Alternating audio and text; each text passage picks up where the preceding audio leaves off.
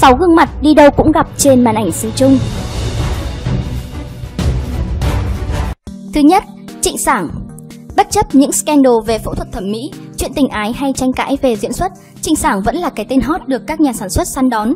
Năm 2016, nàng cỏ xuất hiện liên tục trên màn ảnh nhỏ Trung Quốc. Cô nàng chăm chỉ đóng 5 phim truyền hình và một phim điện ảnh. Yêu em từ cái nhìn đầu tiên, Trường Tương Y, Ngũ Thử Náo Đông Kinh đều gây tiếng vang, giữ tên tuổi Trịnh Sảng nóng suốt năm. Sau hàng loạt dự án phim đình đám, cô nàng nhỏ nhắn không hề có ý định nghỉ ngơi. Năm 2017, khán giả tiếp tục gặp Trịnh Sảng trong hai bộ phim ngôn tình là Hạ Chí chưa tới và Người tình phỉ thúy. Phim điện ảnh Ngộ không chuyện đóng máy trong năm nay cũng lên lịch công chiếu đầu năm 2016.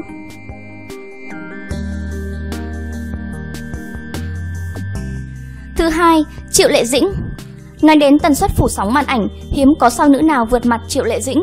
Hầu như trong 2 năm trở lại đây, không có thời điểm nào mà khán giả không thấy mỹ nhân bánh bao trên màn ảnh nhỏ. Năm 2016, cô nàng bỏ túi 5 phim truyền hình và 3 phim điện ảnh. Đây là một con số khá ấn tượng nói lên sức làm việc bền bỉ của Triệu Lệ Dĩnh. Hiện Triệu Lệ Dĩnh đang phủ sóng hình ảnh với bộ phim truyền thể đình đám Chu Tiên Thanh Vân Trí. Sau Chu Tiên, cô nàng sẽ gặp lại khán giả trong đặc công Sở Kiều Truyện. Tháng 12, phim điện ảnh Sóng điện không bao giờ tắt của nữ diễn viên cũng được ra rạp. Thứ ba, Dương Dương Nam thần đăng lên của điện ảnh hoa ngữ Dương Dương cũng được lòng nhiều đạo diễn.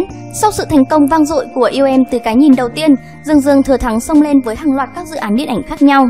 Vừa xuất hiện trên màn ảnh rộng với ngang qua thế giới của em, Dương Dương đã khai máy dự án phim truyền hình Vũ động Càn Khôn, một bộ phim điện ảnh cực hot nữa của anh chàng sắp ra dạp là Tam sinh tam thế thập lý đào hoa, đóng cùng thần tiên tỷ tỷ Lưu Diệc Phi.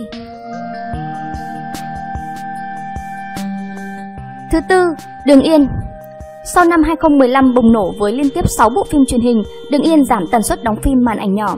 Thay vào đó, năm 2016, cô tập trung nhiều hơn cho mảng điện ảnh nhằm nâng cao đẳng cấp trong sự nghiệp. Đừng Yên đã có 3 bộ phim ra rạp trong năm nay. Trong đó nổi bật nhất là Thợ săn tiền thưởng đóng cùng hai nam diễn viên nổi tiếng là Lee Min Ho và Trung Hán Lương. Bộ phim truyền hình duy nhất của Đường Yên là Cẩm Tú Vị Ương sẽ lên sóng trong tháng 11. Tuy chỉ có một bộ phim truyền hình, nhưng Đường Yên vẫn có thể yên tâm vì Cẩm Tú Vị Ương là dự án hoành tráng, hứa hẹn độ phủ sóng lớn. Thứ năm, Dương Mịch Dương Mịch nổi tiếng là sao nữ làm việc chăm chỉ nhận nhiều dự án phim từ truyền hình đến điện ảnh.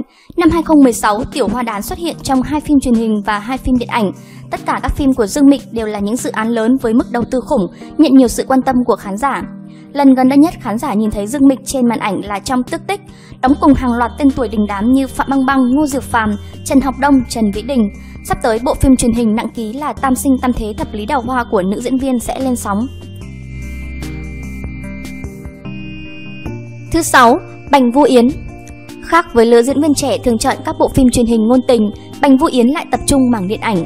Anh chàng hướng tới hình ảnh nam diễn viên thực lực chuyên trị dòng phim hành động võ thuật trên màn ảnh rộng. Năm nay, Bành Vũ Yến đã khiến khán giả choáng váng vì đóng tới 7 phim điện ảnh, chủ yếu là phim hành động. Đây là con số có thể khiến bất cứ diễn viên có hạng nào cũng phải ngả mũ thán phục. Điệp vụ Tam Giác Vàng và Nguy Thành Tiêm Bá của Bành Vũ Yến gần như ra dạp cùng lúc.